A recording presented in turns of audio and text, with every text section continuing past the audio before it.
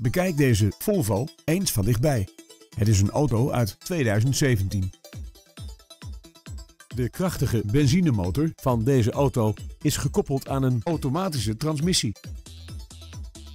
In het sportieve interieur is het prettig toeven, dankzij adaptieve cruise control, climate control en een achteruitrijcamera. Bij de complete uitrusting horen ook een afneembare trekhaak, lichtmetalen velgen en metallic lak.